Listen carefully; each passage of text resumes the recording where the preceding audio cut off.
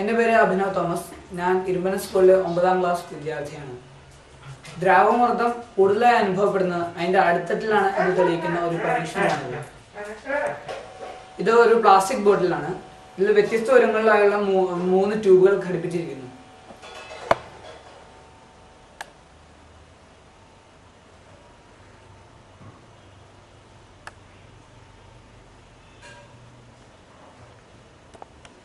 ഇനി ഞാനിതിൽ വെള്ളം നിറയ്ക്കുകയാണ്.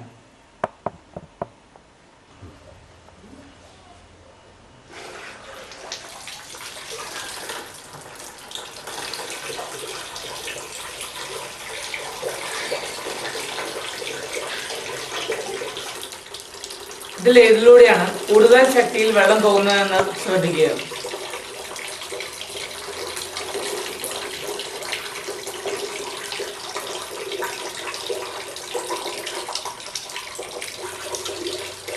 അത് താഴെയുള്ള ട്യൂബിലൂടെയാണ് എന്ന് നമുക്ക് കാണാൻ സാധിക്കുന്നത്.